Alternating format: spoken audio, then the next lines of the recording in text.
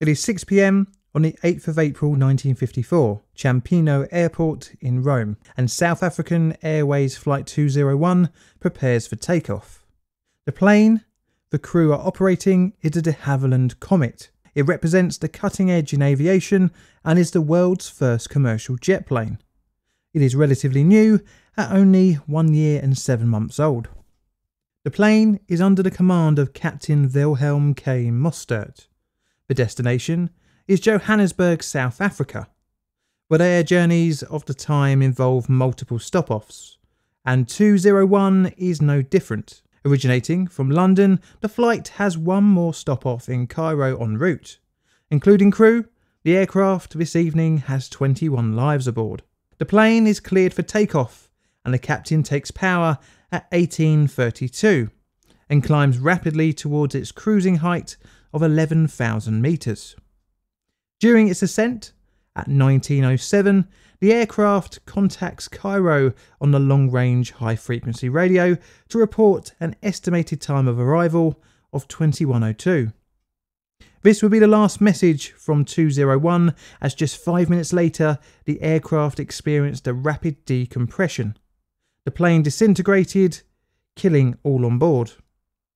The event would be the third of such a fatal loss of a comet in just over 12 months. The mystery of the dramatic and quick loss of South African Airways Flight 201 and the previous two accidents would highlight a fatal flaw in one of the world's most advanced and newest forms of air travel and shake the British aero industry to its core. A comet would not take to the skies in commercial service for nearly another four years, severely hampering the public's image of the aircraft. I'm rating the de Havilland Comet events here 8 on my disaster scale and here 9 on my historical legacy scale. Welcome to Plainly Difficult, where we look into disasters and interesting events in history.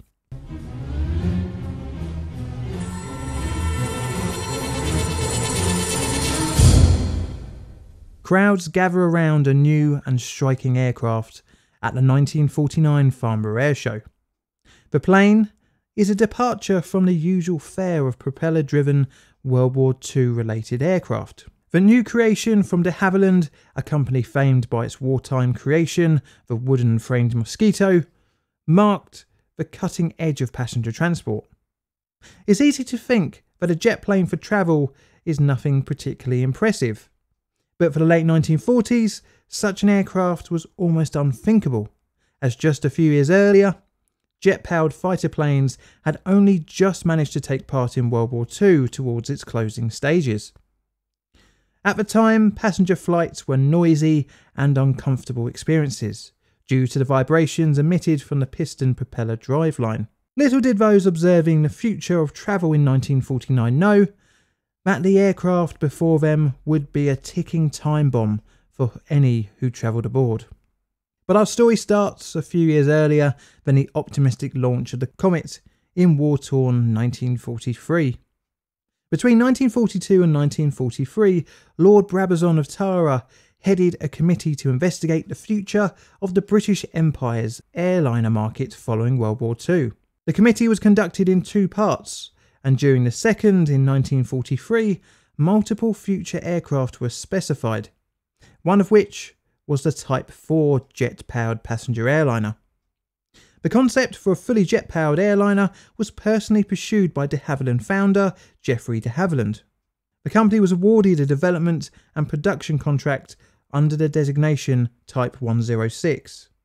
In 1946, a team was set up to design the new aircraft under the leadership of engineer Ronald Bishop of Mosquito fame. During the development phase, the Type 106 went through some radical designs. Although originally intended to take just 24 passengers, changes in specifications from the UK's national carrier and potential main customer for the aircraft, BOAC, led to the design needing to accommodate 36. Because of the changes, a more conventional 20 degree swept wing design with unswept tail surfaces was settled upon. Married to an enlarged fuselage, this final design was named the Comet. It was to be an all metal, low wing cantilever monoplane powered by four jet engines buried within the wings. The form of the aircraft was low drag and something very different from other airliners of the time. The fuselage was constructed of thin aluminium, which was both riveted and chemically bonded together. And this helped to save weight of the aircraft overall. The crew and passenger areas were pressurised. This mixed with rapid temperature changes and a cruising speed of 460 miles per hour meant that the fuselage had to deal with high stress levels. And because of this, the aircraft needed to be extensively tested. Between 1947 and 1948, de Havilland stress tested at Hatfield Aerodrome small components with large assemblies in a number of different test rigs. Decompression chambers were used to test large sections of the fuselage involving testing to component failure to get an idea of what the new plane could take. Testing moved to conducting structural studies with a water tank that could be configured to increase pressures gradually to enable individual failure point discovery. Entire sections of the fuselage were also rapidly pressurised to 2.75 pounds per square inch overpressure and depressurised through more than 16,000 cycles in order to simulate tens of thousands of operating hours. The same was done to the windows and frames. All of these yielded satisfactory results. When you look at the Comet, something different but not necessarily obvious can be seen, and that is the window shape. When compared to a modern aircraft, the DH106 had square cutouts for viewing ports. The first prototypes made in flight out of Hatfield Aerodrome took place on the 27th of July 1949 and lasted just over 13 minutes. The first aircraft was registered as Golf Alpha Lima Victor Golf and was the very same aircraft used to wow the crowds at Farnborough the same year. The first production aircraft was lent to BOAC in 1951 for testing and training purposes and on the 2nd of May 1952, as part of BOAC's route proving trials, became the world's first paying passenger jetliner on a flight from London to Johannesburg. The Comet was about 50% faster than their piston powered contemporaries, and the first year of service proved the aircraft to be very profitable for BOAC. In total, 12 of the first type would be delivered to customers, but although initially looking good, the journey of the comet would take a rough turn. On the 26th of October 1952, Comet suffered its first loss of hull incident when a BOAC flight departing Rome's Ciampino airport failed to become airborne and ran into rough ground at the end of the runway. However, the next crash involving a Comet would sadly be fatal. On the 3rd of March 1953, a new Canadian Pacific Airlines Comet 1A failed to become airborne while attempting a night takeoff at Karachi, Pakistan, on a delivery flight to Australia. The aircraft plunged into a dry drainage canal and collided with an embankment, killing all five crew and six passengers on board. Next came the bloodiest 12 months for the Comet. The first of three structural failures of the aircraft took place on the 2nd of May 1953, when BOAC Flight 783 crashed just six minutes after takeoff from Calcutta, India, killing all 43 on board. Although overstress of the fuselage was concluded by the inquiry into the accident, the ultimate cause was attributed to extreme turbulence and pilot error by overcompensating. The concept of metal fatigue was not on the cards, and thus the Comet was allowed to continue working in passenger service. It would be less than a year that another total loss would occur within the Comet fleet. A Comet registered as Golf Alpha Lima Yankee Papa was being operated as BOAC Flight 781 on a journey from Kallang Airport, Singapore to London Heathrow. On the start of its last leg, 781 had 35 on board, including its six crew. The crew had just over 15,000 hours of flight time, and by any standard, as most were World War II veterans, were highly experienced. Whilst the plane was in Rome, it was inspected by Jerry Ball. Part of his pre flight check he is to look for incidental damage. Not seeing anything to worry about, Ball's team give the okay for the Comet to resume its flight. Flight 781 departed from Rome at 10:31 a.m. on the 10th of January 1954. At about 10.50, the Comet's captain was in contact with another BOAC flight, an Argonaut. The conversation was about the weather, but suddenly, mid-sentence, Captain Alan Gibson went silent, and Flight 781 was seen by witnesses falling into the sea. Needless to say, investigators were now confronted with two strange occurrences involving the comet and set out to find the cause of such a dramatic loss of aircraft. Initial recovery efforts found 15 bodies, some personal effects, and some smaller wreckage pieces. To try and find the cause of the crash, autopsies were undertaken on the recovered bodies. These gave a small glimpse into the cause of the crash. Many had ruptured lungs and fractured skulls and other respiratory injuries, hinting at a rapid decompression event. Initially, a bomb was thought to have been the cause, but investigators couldn't conclude until the wreckage was inspected. But another competing theory was that of an engine explosion. In the meantime, the fleet was grounded. During this time, all remaining Comets received a modification to their engines, where the turbine ring was encased with an armour plate to contain a possible disintegration of the turbine disc. But a problem arose of how to recover the wreckage as it was plunged into the Mediterranean Sea. It wouldn't be until August 1954 that Flight 781 would be found and returned to the surface for shipping back to the UK. Long before the eventual recovery, BOAC wanted their expensive jetliner fleet back into the air, and the company pressured the British government. And on the 23rd of March, just 10 weeks after the crash, this was achieved. Just a few weeks after the resumption of services, on the 8th of April 1954, South African Airways Flight 201 would be lost departing Rome in almost identical circumstances, with three losses of aircraft due to suspected fuselage explosive decompression. The Royal Aircraft Establishment set about investigating the cause of the disasters. After the 8th of April crash, both Flight 781 and 207 were investigated as part of a joint inquiry headed up by Sir Arnold Hall. The report would take over a year to come out, but this time would be invested in stress testing the aircraft way beyond what the designers had envisioned.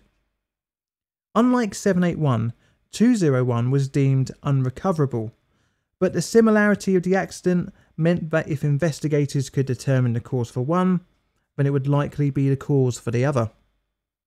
The recovery of 781 was completed in August 1954, with around 70% of the airframe reclaimed from the seabed. The wreckage was reconstructed, allowing investigators to visualise potential hints for structural failure. The initial thoughts of an engine explosion after the loss of 201 now seemed to be pretty unlikely, as the South African Airways plane had received the armoured ring modification to its engines. Seeking to find out the cause, a Comet had to be structurally tested to find weak points in its fuselage. And in order to facilitate this, BOAC donated one of its Comets, Golf Alpha Lima Yankee uniform, for testing to failure. The aircraft was placed inside a large water tank. The tank was filled, and water was pumped into the airplane to simulate flight conditions.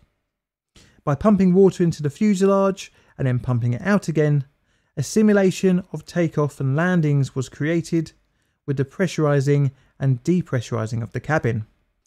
The use of water instead of air allowed investigators to see where potential stress fractures would occur, as when air is compressed, it can release energy in a way similar to a bomb, virtually destroying any evidence. The donated plane before testing began in June 1954 had experienced roughly 1230 pressurized flights. The fuselage would last another 1830 test flights in the water tank before structural failure occurred. In total, the plane, including its previous service record, had experienced approximately 3,060 pressurization cycles. The results of the structural failure were worrying for the entire Comet fleet. It was found that stress fractures originated from the front of the fuselage around the window edges. But even more worrying was that due to algae growing around the stress fractures, it was discovered that the fractures had been gradually growing over multiple pressure cycles. This was around the same time as more pieces of 781 came in for examination. They were from the area around the wing spar and consisted of two square windows, which were used to house the aerials for the aircraft's automatic direction finding equipment. With the evidence from the test tank and the actual wreckage, investigators were able to piece together the failure point, the cutouts made in the thin fuselage metal for the square windows. Investigators compared the results from the tank test to 781, which had over 1200 pressurization, and 201, which had received 900 pressurization cycles, and concluded that both aircraft would have experienced micro stress fractures during their working life. As each time the cabin was pressurised, the corners of the windows become fatigued, as the stress was concentrated on the corners and wasn't spread evenly across the opening. After hundreds and thousands of cycles, the frame would start to crack and continue to weaken the whole structure of the plane. The testing during the design of the Comet was found to be inadequate for the actual stresses loaded on the structure. The findings on both the BOAC and South African Airways crashes were published on the 1st of February 1955. The Comet design was subsequently revised, making improvements to the already in development Comet 2. And one main obvious difference could be seen the windows. This and also an increase in metal thickness and increased structural support. Additionally, larger wings and a longer fuselage were incorporated, and this meant that the aircraft was now far better. But the damage to the brand was already done. All outstanding orders for the Comet from airlines around the world were cancelled. The type would remain grounded from commercial services until 1958, when the aircraft would take to the skies once again. A trickle of orders would come in eventually, with two more revisions being released. The aircraft would be retired in 1997, far outlasting the company that had built it, but its legacy would endure way beyond its working life. Both of de Havilland's competitors, Boeing and Douglas, learnt from the mistakes from the Comet, even admitting in private that if de Havilland had not experienced the Comet's pressurization problems first, then it would have happened to them. But ironically, it would be Boeing with their much less futuristic and pod mounted Engine 707, introduced in 1958, that would eventually rule the commercial skies, leaving the Comet as a bold but flawed footnote in aviation.